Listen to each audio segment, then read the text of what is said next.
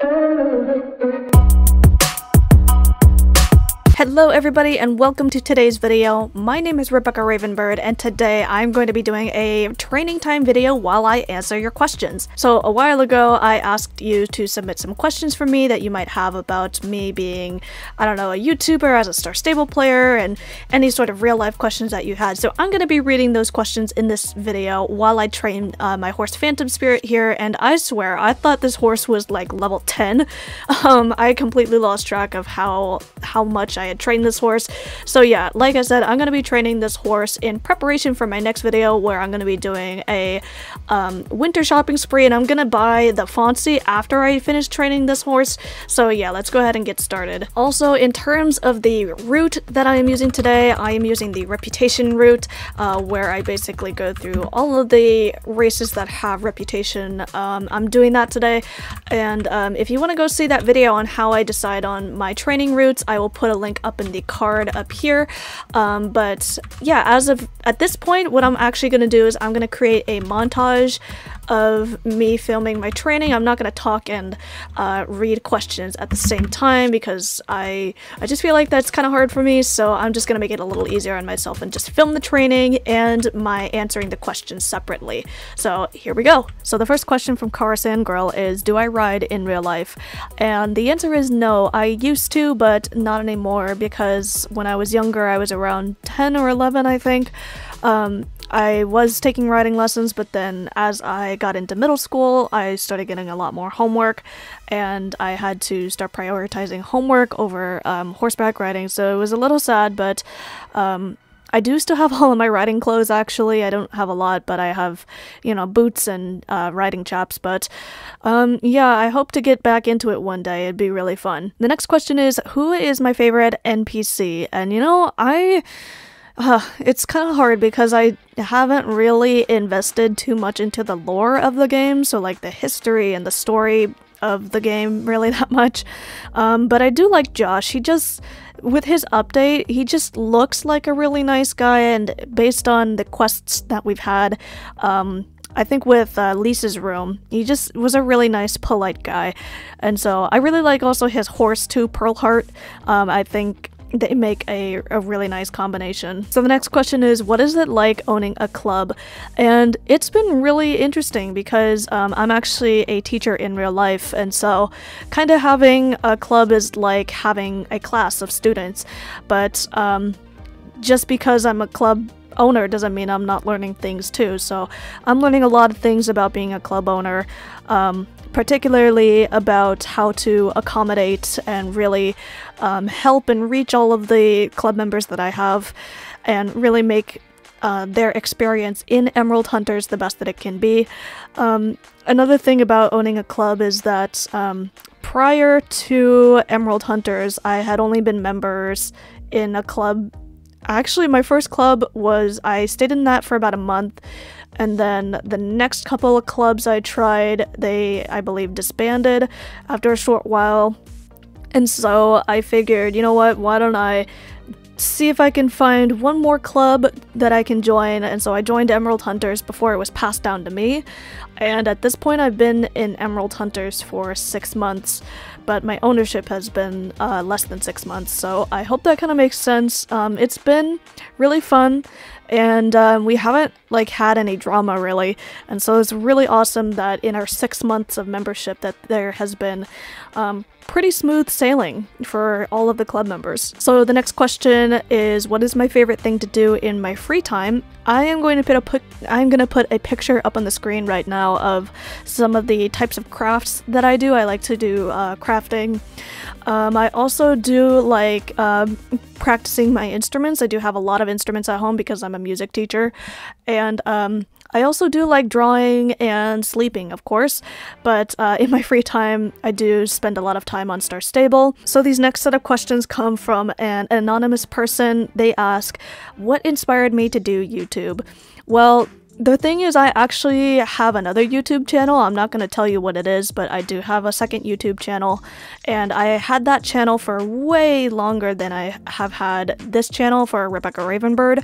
Um, what inspired me to do YouTube is the fact that I well, I haven't put out any videos yet, but I do plan to put out some dressage tutorial videos that I I think the dressage community really needs.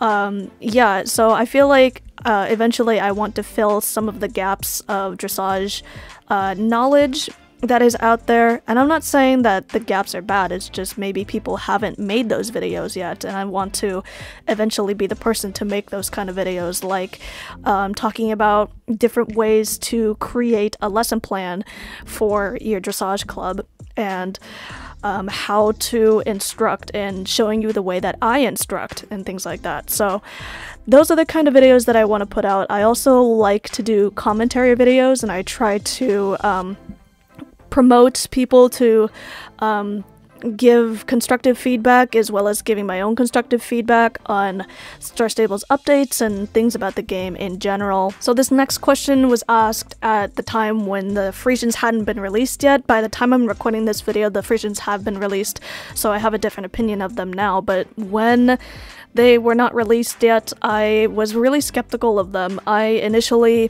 was kind of skeptical about the mane and tail mostly. I felt like they had too much shading and texture still um, compared to the Gen 2 models, which just were super shiny and um, yeah, it just didn't feel like it reflected light correctly.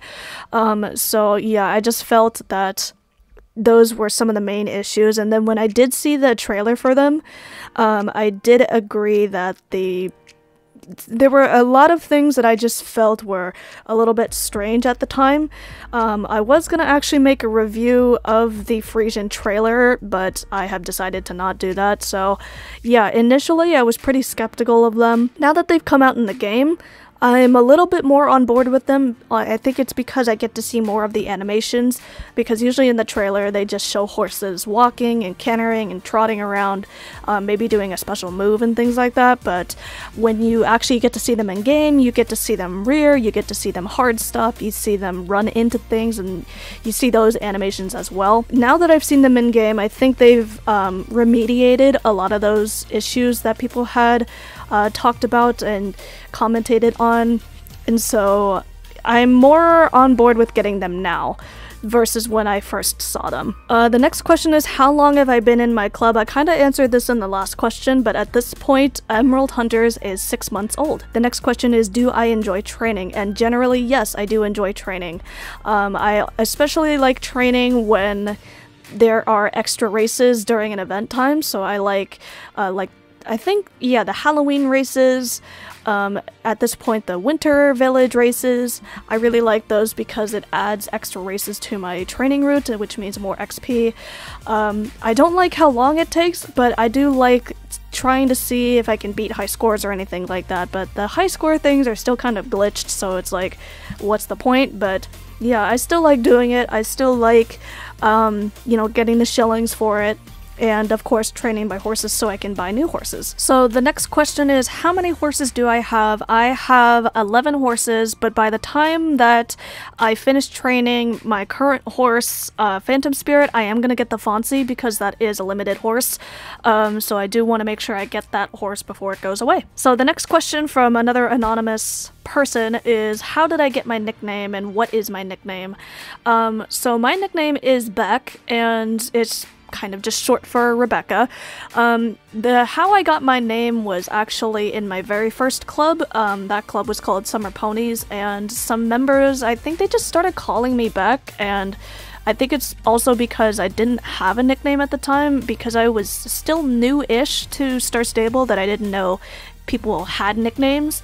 Um, so I just got Beck and I've stuck with it ever since. The next question is if you could add one horse to the game, what horse would you add?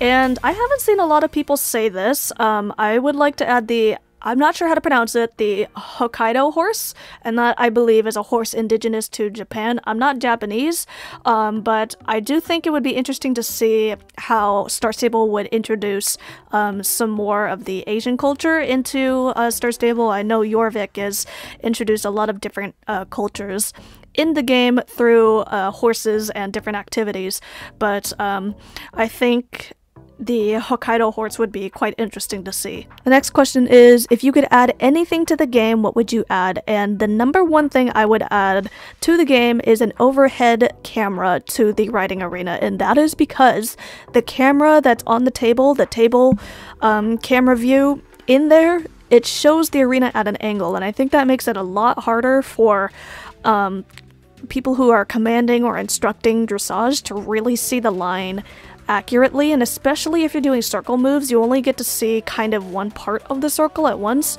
And if you like let's say you're introducing circle moves for the first time and you don't know about the dots in the arena and how to use them then it's hard to see whether your riders are making a proper circle if you can't see directly above them. So a camera that looks directly above the arena instead of at an angle would be great. Think about it like this. If we were at a football field and you were to go into the press box, that press box brings you up above the field and you would be able to see directly over the 50 yard line which is the middle of the field.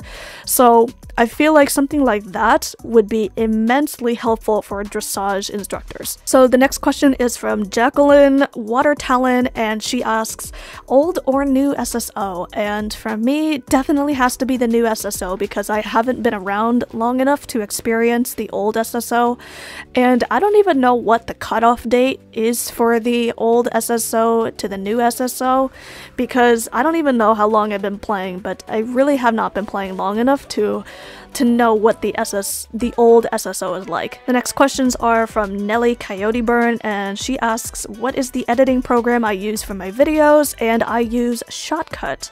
And the next question is what server am I on? I am on the server Cookie Canyon.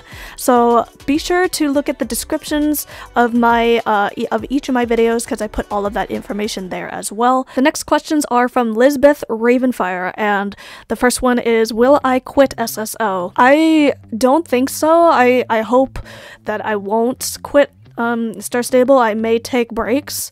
Um, I actually just got off of a, of a break because I needed to um, take some time for myself in real life, but I, I really don't know if at any point I will quit Star Stable. The next question is, what is something in Star Stable that you hate? Um, I don't think there's anything that I really hate per se. There's a lot of things I dislike, and there's a lot of things that I think perhaps could be changed, but there's nothing really in the game that I hate. The next question is, what do I think of the updates that Star Stable gives us? Generally, I I favor them. I, I do like most of the updates that they put out, um, especially because this is my first year where I've been really active and really experienced all of the different holidays, celebrations, and updates that they have. So, uh, 2020 was my first uh, midsummer, my first Halloween, my first winter village. And so I don't really have any prior experience with these kind of updates to say whether or not I like them. So far, like I said, I do like a lot of the updates. Now, the horse updates, I'm a little bit more skeptical of. If you've seen at least like my uh, Dorcha and Solus video, I like really didn't like those horses.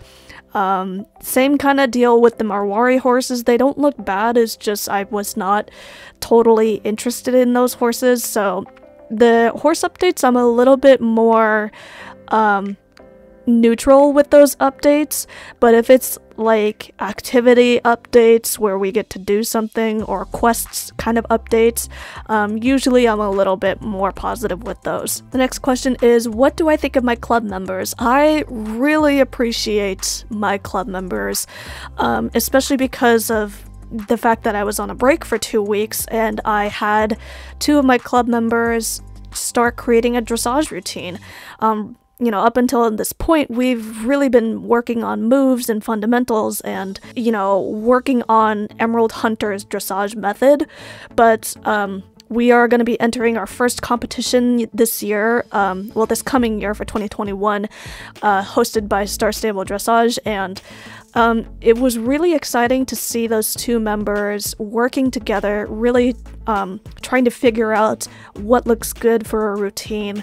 And um, today, the, at the time that I'm recording this this video, this audio, I got to see the routine for the first time and it was just great. Like I said, one of my club members had to kind of take over from me for a little while and she wasn't even technically like a club leader. I just had to but she's demonstrated that um, ability. She's demonstrated that potential to be a club leader. So she has um, taken over the club for two weeks with instructing and managing the club a little bit.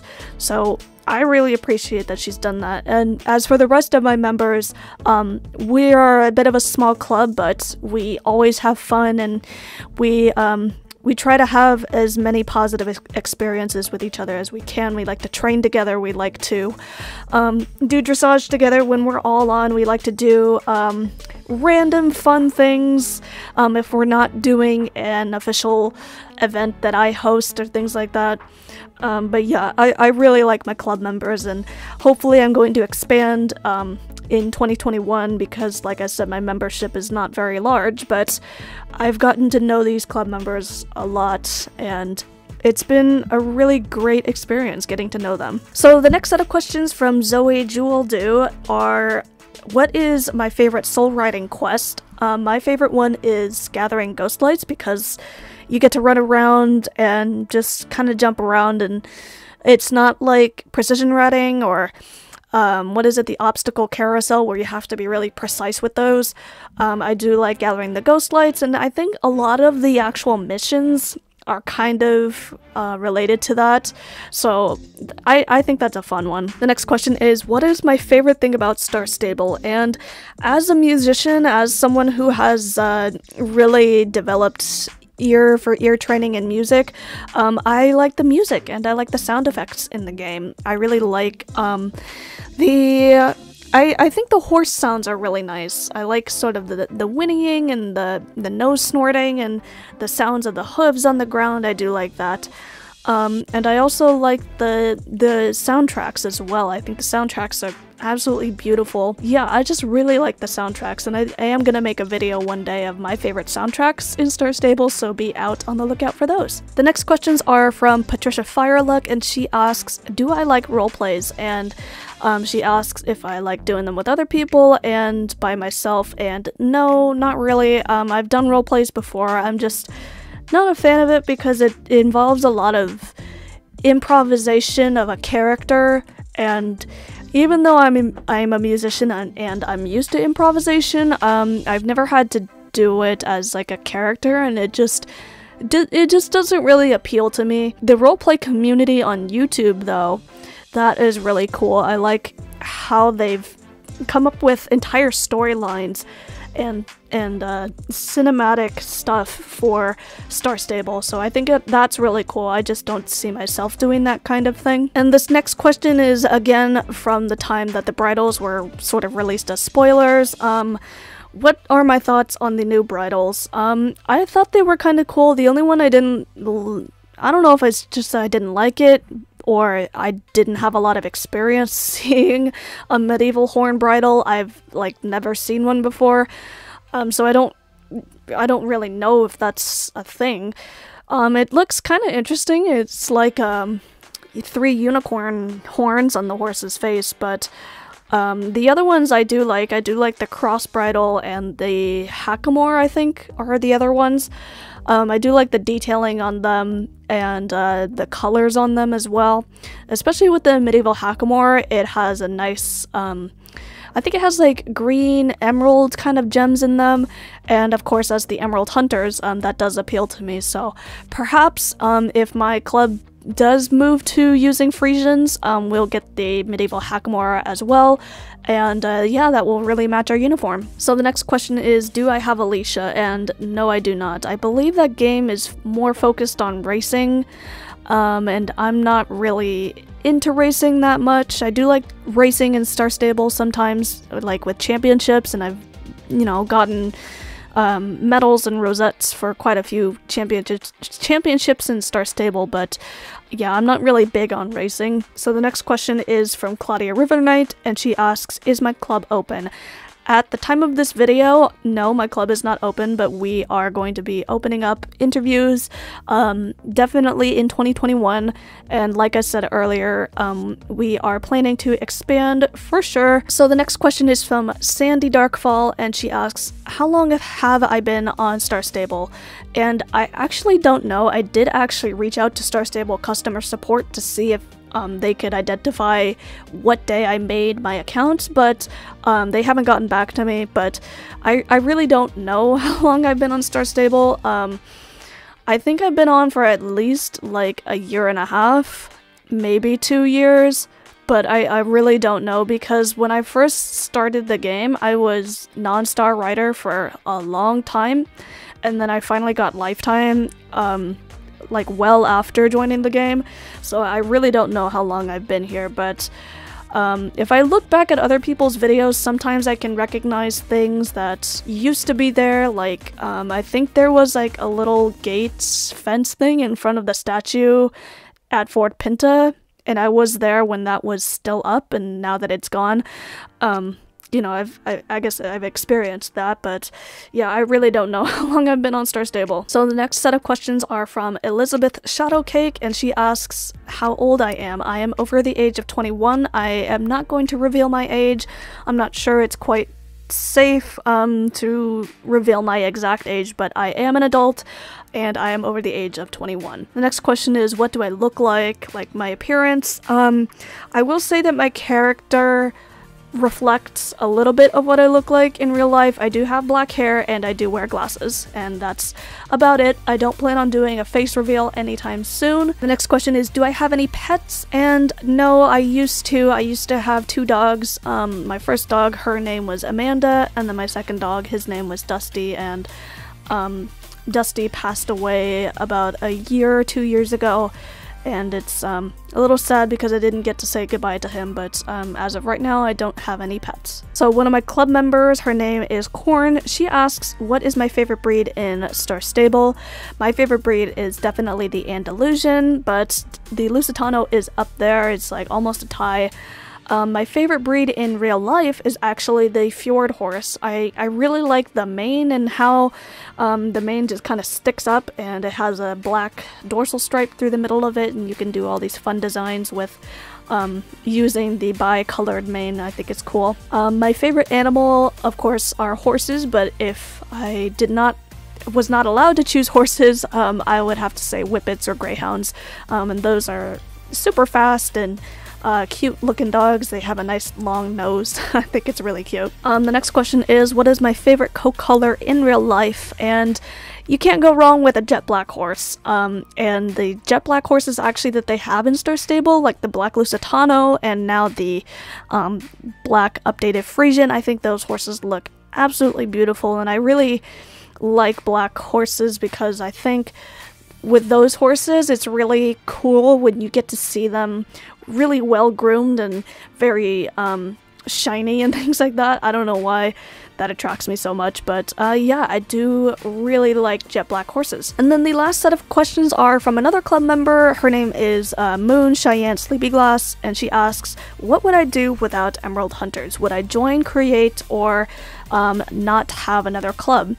I think I would go the route of joining a club, uh, and then I know that there's a lot of different clubs that are out there. Uh, because I like dressage so much, I would probably want to join another dressage club, and I would want to kind of experiment with a club that uses Discord um, because, in my experiences with the other clubs that I've been in, including Emerald Hunters, we've used chat dressage, and of course, with Emerald Hunters, we've come up with a method to use chat dressage successfully. I know using Discord also has its pros and cons, and I would like to experience that.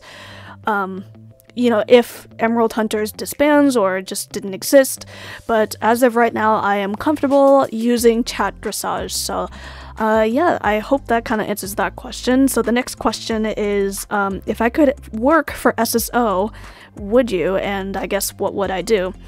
Um, yeah, I think it would be cool to work for uh, Star Stable. I don't know what department I would be in, but I do like um, working with technology and um, I guess because of my background with YouTube, I like editing videos and creating um, sort of graphic design for my thumbnails and So I think those kind of skills would be useful if I were to start working at Star Stable. And then another question more related to uh, club stuff is um, will the club schedule change when we go back to school in person and when things go back to normal?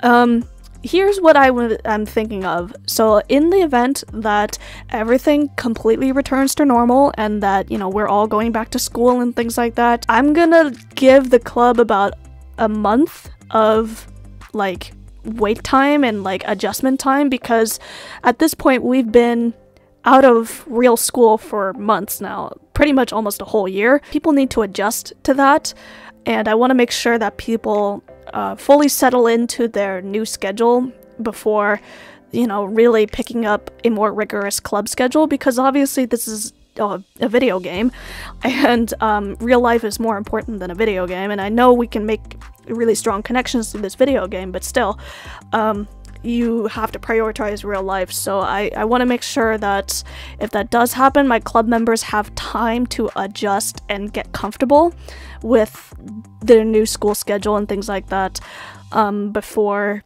I make any drastic changes to the club. Alrighty everybody, so thank you all for watching this video. I hope you learned a little bit something new about me today and I really enjoyed answering your questions. I will definitely um, be doing another Q&A video at some point. Um, so if you didn't get your question answered in today's video, you may have an opportunity in the future to re-ask that question and I will answer it then. So like I said, I hope you enjoyed this video and I will see you in the next one. Bye!